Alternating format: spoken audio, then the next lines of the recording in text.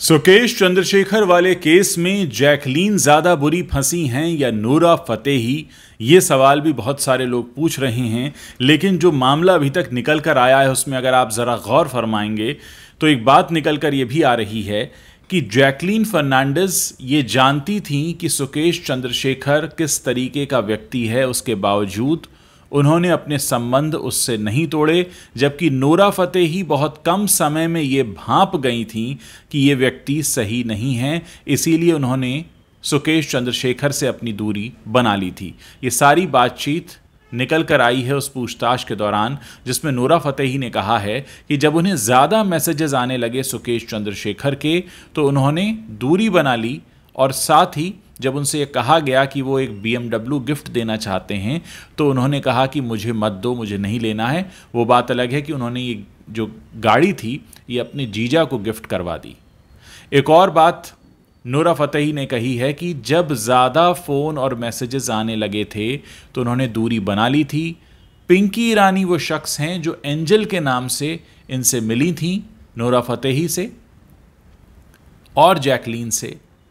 और इनकी जो नज़दीकियाँ हैं, वो बढ़ाने में मदद की थी एंजल ने। एंजल नाम से ही जानते थे नोरा फतेही और जैकलीन पिंकी ईरानी को। अब पूरा मामला ये निकल कर आ रहा है कि जब नोरा फतेही इस बात को भांप गई थी कि मामला कुछ गड़बड़ है, ये शख्स अचानक से आकर हमसे मिलता है, इतने महँगे तोहफे देता है, ज़रूर कुछ गड़बड़ है। इसलिए उन्होंने अपनी दूरी बना ली थी। तो इस पूरे केस में नोरा फतेही से ज़्यादा शक जैकलीन पर इसलिए है क्योंकि जैकलीन एक रिंग भी एक्सेप्ट कर चुकी थी इंगेजमेंट की, जिस पर जे और एस लिखा था। साथ ही वो अपना नज़दीकी करीबी रिश्ता बनाकर रखना चाहती थी। जो फोटोग्राफ सामने आए हैं, वो भी इस बात की तरफ़ इशारा करते हैं। तो कहने का मतलब ये है कि जब इतने कम समय में नोरा फतेही ने इस बात को भांप लिया कि मामला कुछ गड़बड़ है तो क्या जैकलीन इस बात को भांप नहीं पाई? या जानने के बाद भी अनजान रहीं और इस रिश्ते को आगे बढ़ाया ताकि उनका काम चलता रहे। तमाम सवाल हैं जो उनसे पूछे जा रहे हैं और कहा गया है कि बहुत से ऐसे सवाल हैं जिनकी जवाब जैकलीन नहीं दे पाई हैं और यही वजह है कि उन पर शक बढ़ता जा रहा है। जैकलीन को जितने गिफ्ट दिए गए, नोरा को उससे कहीं कम दिए गए। नोरा को एक बी कार गिफ्ट देने का मामला सामने आता है, जबकि जैकलीन को जो तोहफे दिए गए हैं, उनकी अपने आप में कीमत 10 करोड़ रुपए की है। अब आप ज़रा रुक कर सोचिए कि इस दुनिया में, इस दुनिया इसलिए कह रहा हूँ क्योंकि ये किस्सा इसी दुनिया का है, दूसरे प्लानट का तो नहीं है। एक शख्स आप चाहे कोई भी हैं, और वो शख्स चाहे कोई भी है, आपसे अचानक मिलता है इतने महँगे गिफ्ट देता है और इंगेजमेंट की रिंग भी दे देता है और फिर आपको कभी शक नहीं होता कि आखिर ऐसा क्यों हो रहा है। किसी भी रिश्ते को पनपने में कुछ वक्त लगता है।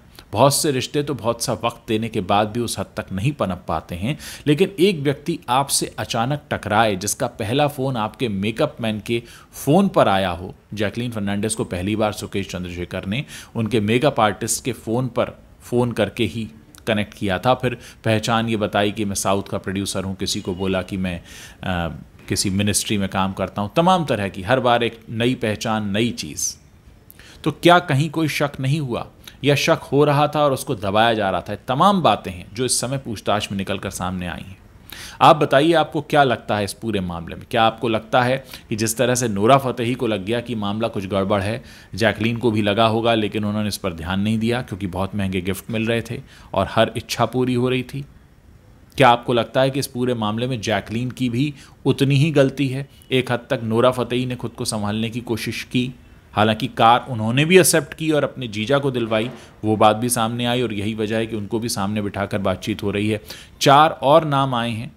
स्मॉल टाइम एक्ट्रेसेस के, जो जेल में जाकर मिली हैं सुकेश चंद्रशेखर से और उन्हें इस मुलाकात के लिए कुछ पैसा भी दिया गया था।